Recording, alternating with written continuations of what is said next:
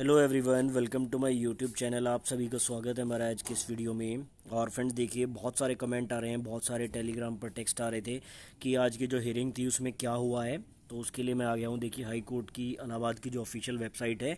यहाँ पर आप लोग भी जाकर इसको देख सकते हैं। सिंपली आपको केस नंबर यहाँ पर डालना है और ईयर में 2021 डालना है। तो आपको भी ये जो है, सारा स्टेटस यहाँ पर शो हो जाएगा। केस नंबर आपका six two three seven eight है।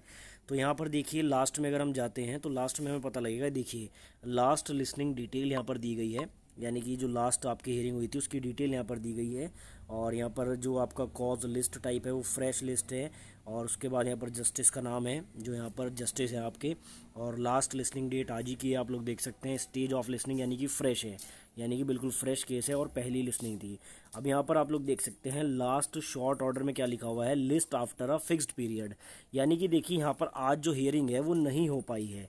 अब ये हियरिंग क्यों नहीं हो पाई है, इसके कई कारण हो सकते हैं, क्योंकि आपको पता है, जब कोई भी केस यहाँ पर किया जाता है, चाहे हाई कोर्ट में किया जाए डिस्ट्रिक्ट कोर्ट में किया जाए कैट में किया जाए, कहीं भी तो फ़र्स्ट स्टेज में क्या होता है, वो लोग आपके डॉक्यूमेंटेशन को चेक करते हैं तो या तो यहाँ पर प्रॉपर डॉक्यूमेंट सबमिट नहीं किए गए हैं। ठीक है, देखिए होता क्या है कि जब कोई भी केस होता है तो उसकी एक पहली एडमिशन स्टेज होती है। तो उस स्टेज पर क्या होता है कि जो आपके जज होते हैं, वो ये देख लेते हैं कि अगर केस में आपका कुछ दम है तो उसको आगे फॉरवर्ड करते हैं और उसको डिटेल में सुनने के लिए अलग से हियरिंग डेट देते हैं।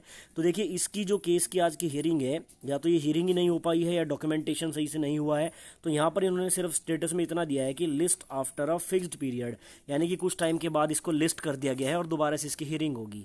अब यहाँ पर कंडीशन की अगर बात करते हैं कि क्या क्या कंडीशन यहाँ पर बनती है, अगर इसकी हियरिंग होती है तो वो भी मैं आपको बता देता हूँ। देखिए, पहली कंडीशन तो ये है कि जज क्या करेगा? देखिए, जो इसकी प्रीवियस आपकी जो ऑर्डर कॉपी है, यानी कि जो कैट में इसका केस चला था, उसको देखने के बाद, उसको एग्जामिन करने के बाद या तो पहली हियरिंग में ये जो केस है आपका, वो डिसमिस कर दिया जाएगा।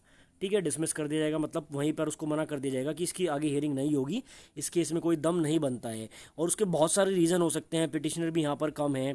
उसके अलावा यहाँ पर जो है कोई ऐसा बड़ा प्रूफ भी नहीं है।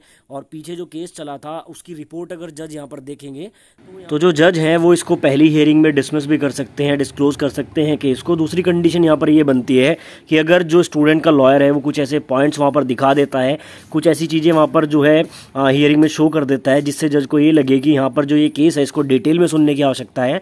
तो इसको जो है सेकंड स्टेज पर ले जाया जाएगा, यानी कि जो है इसकी फिर से हियरिंग होगी और डिटेल में इस केस को सुना जाएगा। तो दो ही कंडीशन निकल कर आती है, बाकी आज हियरिंग नहीं हुई है, जैसी हियरिंग होगी। और जिस डेट पर भी हियरिंग होगी, मैं आपको जो है अपडेट करा दूँगा। प्रूफ के साथ मैंने आपको दिखाया है। अगर फिर भी आपका कोई कमेंट है, कोई क्वेरी है तो कमेंट बॉक्स में आप लिख सकते हैं।